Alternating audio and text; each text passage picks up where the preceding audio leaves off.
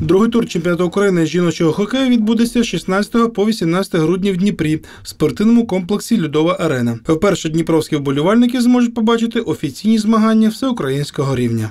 Мы э, очень благодарны Федерации хоккея Украины за то, что они поверили в нас и разрешили организовать такое мероприятие. И, и очень благодарим за то, что второй тур разрешили провести э, в Днепропетровске. Э, Наш город принимает э, такой турнир впервые. Э, Впервые в Украине проводится чемпионат среди женщин э, по хоккею, и впервые в Днепропетровске он пройдет.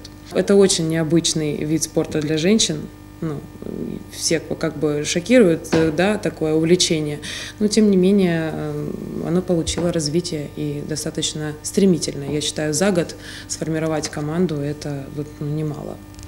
У першому історичному чемпіонаті країни з жіночого хокею беруть участь п'ять команд, які у групових турах розіграють попередній етап змагань. У Дніпрі глядачі побачать чотири команди: це господарі королеви Дніпра, Дніпро Квінс, Україночка місто Київ, Пантери місто Харків та клуб Лавина з Кременчука. Правила гри трохи м'якші ніж у чоловічому хокеї. Відрізняється і амуніція. В первую очередь бесконтактный спорт, бесконтактные э, матчи.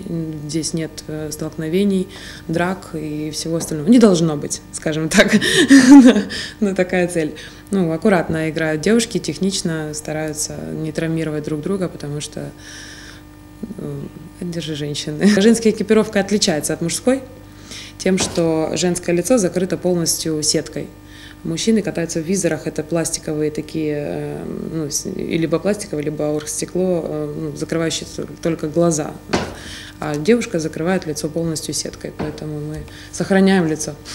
Змагання триватимуть три дні по два поєдинки. Починати зустрічі команди будуть в п'ятницю та суботу о 17.00, в неділю о 12.00. Урочисте відкриття другого туру чемпіонату відбудеться 16 грудня о 17.00. Третій тур відбудеться теж у Дніпрі, але вже у новому році. Четвертий та п'ятий тури проведуть у Харкові та Кременчузі відповідно. А фінал відбудеться у Києві на міжнародне жіноче свято 8 березня 2017 року. Дмитро Тимохін, Артем Коваленко, новини 51-го.